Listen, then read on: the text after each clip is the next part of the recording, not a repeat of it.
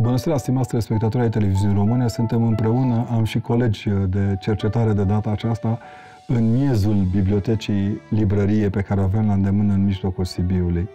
Pentru mulți dintre noi, un fel de a doua facultate, dacă mi este îngăduit să o spun, de pe vremea în care, tineri studenți fiind, ne scocioram bine prin buzunare dacă ne ajung banii și de altceva decât de un cotor de carte.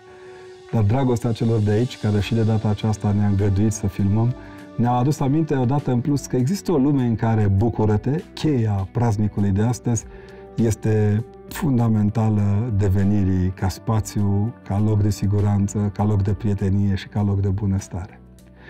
Sigur că suntem la apusul soarelui peste una dintre cele mai frumoase prăznuiri, aceea bunei vestiri. Cuvântul nu ne încape în seara aceasta, așa că de mult am vrea să vorbim despre acest praznic, ne-ar fi greu, dar rămâne, revin, acest apelativ, dacă vreți, al lui Bucurăte. În urmă cu ceva ani eram undeva la Suceava și în cadrul unui examen de gradul întâi pentru un profesor care preda într-una din școlile în care se îngrijesc copiii care au mici uh, deficiențe de sănătate. La un moment dat, printre cei prezenți, o tânără domniță care avea vreo 17 ani și era în clasa a 9 sau a 10 este întrebată dacă știe cine s-a rugat prima dată la Maica Domnului. Noi ne așteptam să ne răspundă Domnul Hristos la, cine, la, la nunta din Cana Galilei sau câte și mai câte. Ea ne spune simplu ce Arhanghelul. Și noi am întrebat-o cum. Atunci când i-a spus, bucură-te.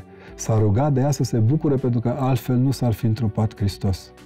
Acel fie mie după cuvântul tău în pace pe care Maica Domnului rostește astăzi este echivalentul lui să fie lumină. De fapt, Fecioria ei luminează o lume în care Hristos intrând ne bucură pe toți de tăria de caracter a unui Dumnezeu care ne iubește.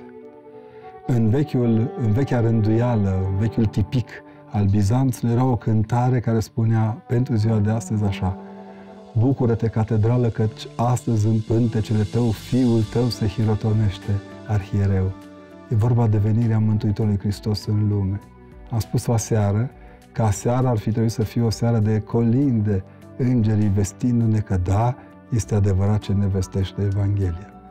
Astăzi este o zi a adeveririi. Fecioara Maria primește pe prunc și ni-l dăruiește ca pe unul dintre cei care schimbă lumea, care sunt singurii eh, locuitori al unei lumi nevăzute, intrate în lumea văzută, pentru ca lumea văzută să o apropie de cea nevăzută. Un Dumnezeu care se numenește nu intră în mintea noastră nici acum. E greu, se înșurubează greu în culturile noastre, dar el rămâne ca o realitate. Eu nu pot să vă spun din continentul cărții decât bucurați-vă!